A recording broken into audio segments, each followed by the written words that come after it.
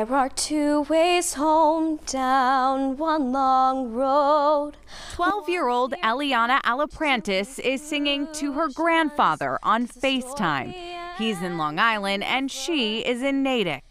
One clear path to two conclusions. The seventh grader has a love for music and a passion for performing.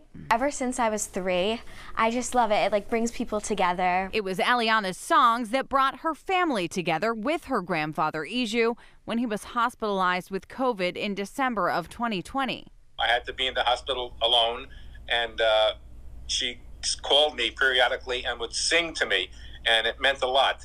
Specifically, she'd sing the national anthem, which she's known to do at events around town. The song that unites us together as a country, like with my grandfather being a Vietnam veteran, it's just really important. Oh, say, can you see By the dawn's early light. what so proudly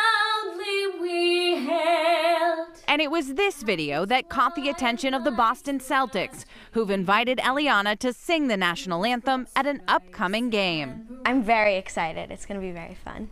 Even better, her grandfather will be there, in person, in the audience, and likely very emotional. I'll cry.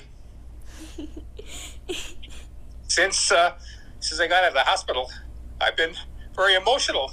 If there is something better than great, that's what I'll be. So if you happen to be at the Celtics game this weekend, look for Eliana. She'll be performing the national anthem at Sunday's 3 o'clock game against the Orlando.